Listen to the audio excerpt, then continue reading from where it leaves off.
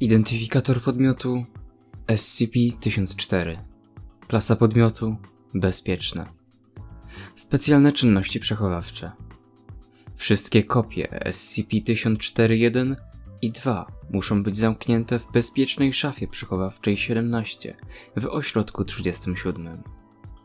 Egzemplarze SCP-1004 nie można wykorzystywać w celach rozrywkowych. Od czasu incydentu 1004 Dale naukowcom zabrania się oglądania obrazu wyjściowego SCP-1004, nawet jeśli ten zostanie przefiltrowany lub wyświetlony pośrednio. Obraz wyjściowy SCP-1004 mogą oglądać jedynie pracownicy klasy D. Użycie instancji SCP-1133-7 i SCP-894 przez badaczy i obiekty testowe zostało zaakceptowane w sytuacjach, gdzie pomaga to powstrzymać niezamierzone rozprzestrzenianie się efektów SCP-1004. Fundacja przeciwdziała rozprzestrzenianiu się kopii SCP-1004 poprzez rozsyłanie niechcianych wiadomości elektronicznych, spośród których wiele zawiera wirusy komputerowe, malware czy robaki. Zaprojektowano również oprogramowanie dla wszystkich dostawców poczty elektronicznej, które ma zapobiegać rozprzestrzenianiu się SCP-1004. Opis SCP-1004 to program komputerowy znajdujący się zarówno na płytach CD SCP-1004-2, jak i dyskietkach 3,5 cala SCP-1004-1. Oba nośniki są wówczas podpisane słowami Factory Porn. Na nośnikach zapisany jest pojedynczy 1-kilobajtowy plik wykonywalny oznaczony thefactory.exe. Program działa bezbłędnie na wszystkich platformach. Uruchomienie aplikacji skutkuje otwarciem okienka na pulpicie komputera, w którym pojawia się logo The Factory. Logo zostaje przyciemnione i zastępują ją słowa co chciałbyś zobaczyć. W tym momencie użytkownik może wprowadzić dowolne słowa w programie. Mogą być bardzo ogólne albo precyzyjne. Po wprowadzeniu słów, program ukaże kilkadziesiąt obrazków o tematyce pornograficznej, z której każdy jest również odnośnikiem do pełnego materiału wideo. Wiele z owych filmów najwyraźniej nie zostało nakręconych w świecie rzeczywistym. Oglądanie nagrań z SCP-1004 skutkuje cierpieniem efektu kumulowanego.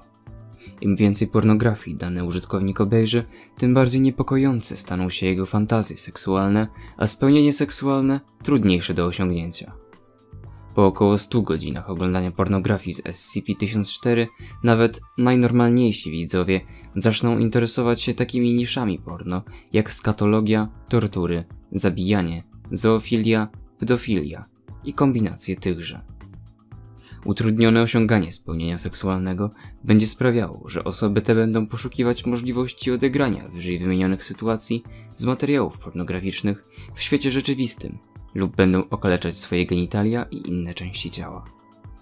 Warto odnotować, iż SCP-1004 nie wykazuje żadnych właściwości kompulsywnych. Użytkownicy mogą w każdym momencie zaprzestać użytkowania programu.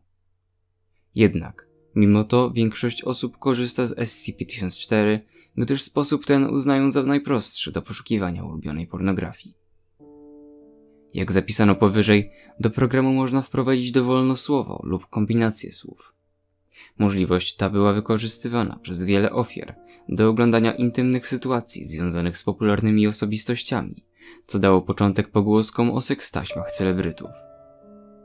W związku z tym zrozumiano, iż owe materiały wideo mogłyby być wykorzystywane do szantażowania polityków o poglądach antytetycznych względem fundacji. Niestety, dotychczasowe próby zarejestrowania nagrań SCP-1004 skutkowały jedynie uchwyceniem szumu białego. Kilkoro naukowców stwierdziło, że widzieli poruszające się w szumie sylwetki humanoidów, ale spostrzeżeń tych nie odnotowano podczas kolejnych seansów. SCP-1004 najwidoczniej rozprzestrzenia się za pośrednictwem wysyłanych losowo wiadomości elektronicznych. Wiadomości takie zazwyczaj informują czytelnika, iż umożliwiają dostęp do materiałów przedstawiających celebrytów uprawiających seks lub przedstawiających często nielegalną deprawację. Odnośnik wiadomości żąda od odbiorcy wprowadzenia jego adresu domowego. Zamówiony egzemplarz SCP-1004 zostaje dostarczony do domu internauty w ciągu trzech dni w jednolitym, brązowym pakunku. Paczka nie posiada adresu zwrotnego. Fundacja posiada aktualnie 37 egzemplarzy SCP-1004-1 oraz 23 egzemplarze SCP-1004-2. Incydent 1004 Dale Odkryto, iż naukowiec Adam Dale zachęcał pracowników klasy D do oglądania SCP-1004 i kopulowania ze sobą celem zapewnienia mu przyjemności. Rozpoznano, iż SCP-1004 wpłynął na naukowca Dale'a, mimo że ten nigdy nie oglądał materiałów w sposób bezpośredni, a jedynie monitorując przebieg testów za pośrednictwem obrazu wideo. Anulowano wszelkie plany pośredniego oglądania SCP-1004.